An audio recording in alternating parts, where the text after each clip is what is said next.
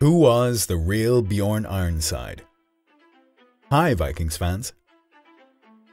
If you love a good Viking warrior, you have probably heard of the famous Bjorn Ironside, warrior, raider, and son of the infamous Ragnar Lothbrok.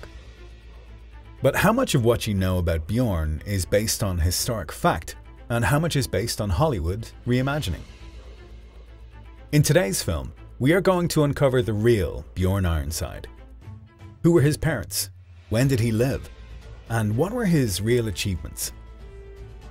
If you want to learn even more about Bjorn Ironside or any other Viking heroes, visit our website www.blog.vkngjewelry.com www.blog.vkngjewelry.com There you will find posts about many of the most fascinating Viking chiefs and warriors, as well as posts on mythology, religion, and customs, plus our collection of Viking-inspired jewelry. Let's get started. First question first. Was Bjorn Ironside a real person? The simple answer is yes. Bjorn Ironside was a 9th century Viking raider who raided across Scandinavia, France, England, and the Mediterranean. He was one of the many sons of Ragnar Lothbrok, and his story is recorded in the book of Ragnar Lothbrok and his sons. But this saga is far from a historic record. It mixes history and legend, and combines the deeds of many Viking warriors to make its protagonists seem more interesting. Nevertheless, we can confirm the basic facts that Bjorn Ironside was a real person, was considered a son of Ragnar Lothbrok, and that he lived in the 9th century, as these details are confirmed by a few contemporary sources, specifically the Annales Bertiniani and the Chronicon Fontanellense. Bjorn was the son of Ragnar with his third wife, Aslaug, who he married after divorcing Lagertha and after his second wife, Thora, died. Ragnar met Aslaug while raiding the Norwegian coast. Aslaug is said to have been the daughter of Sigurd and Brunhild, the legendary dragon slayer and Valkyrie of Wagner's opera. Aslaug lost her parents at a young age and lived with a poor family that called her Kraka and hid her parentage. Despite her apparent humble origins, Ragnar fell for her looks and wit. Together, Ragnar and Aslaug had several sons Ivar the Boneless, Bjorn Ironside, Hvitserk, Rognvald, and Sigurd Snake in the Eye. So Bjorn was not Ragnar's oldest son, or even the oldest of his five sons with Aslaug. Ragnar already had a son, Fridleif, with Lagertha, Ubbe with an unknown woman, and Eric and Agnar with Thora. Bjorn probably had some sisters and half-sisters as well, but their names have not survived through history. Far from being an enemy of Ivar, Bjorn spent his early adult years as a raider with Ivar. When Ragnar became king of Denmark, he followed the custom of expelling his younger sons in order to get them out of the way. It seems that he kept his two sons with Thora with him and expelled all of his sons with Aslaug. This was hardly a rejection. They were given ships and the opportunity to prove themselves. The brothers set their sights on Scandinavian territories, setting themselves up in Zealand, with the oldest of them, Ivar the Boneless, as their leader. From there they raided Jutland, Gotland, Åland, and other minor islands.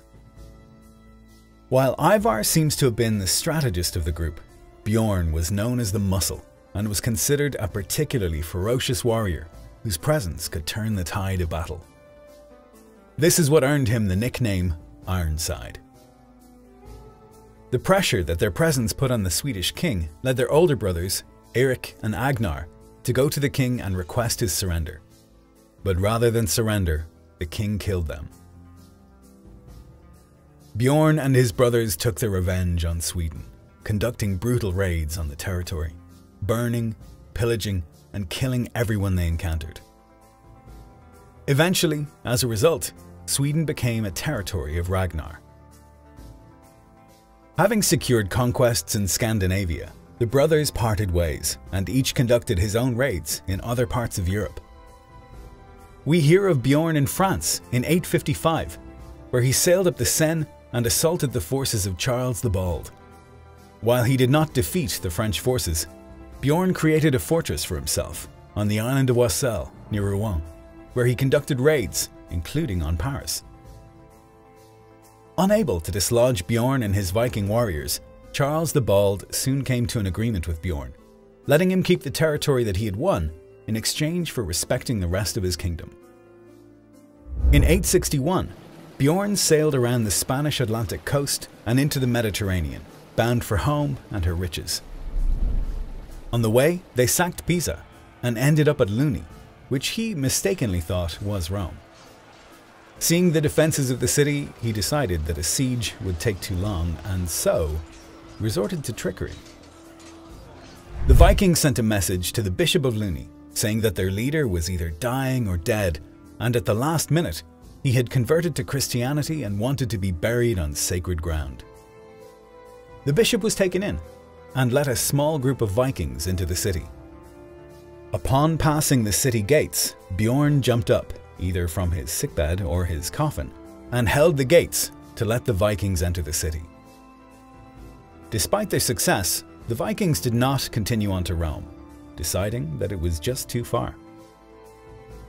The brothers found themselves reunited in 866 by the death of their father. Made arrogant by his success, Ragnar raided England with just two ships and was captured and killed by King Aelle of Northumbria, who apparently threw him into a snake pit. Seeking vengeance, the brothers descended on England with 400 ships and set themselves up in York, where Ivar the Boneless had created a stronghold and found allies. Together they led a great heathen army that devastated England and destroyed the forces of King Aelle. The king himself they tortured to death. According to the stories, they carved an eagle into his back and then salted the wound. After this, they extracted his ribs with a sword in such a way that it also pulled out his lungs, eventually killing him. After avenging his father, Bjorn Ironside became the king of Sweden, or at least the part of it around Uppsala and the centre. Nothing is recorded about the death of Bjorn, but it may have been peaceful, as he was succeeded to power in Sweden by his son Eric, who was in turn succeeded by the son of Bjorn's other son, Refil. Bjorn may have had more sons and daughters, but no other information survives about his wife and children. Bjorn is credited with founding a dynasty that ruled in Sweden from the 860s until 1060, called the House of Munso. The dynasty is named after a barrow found on the island of Munso in the 18th century, which antiquarians claimed belonged to Bjorn.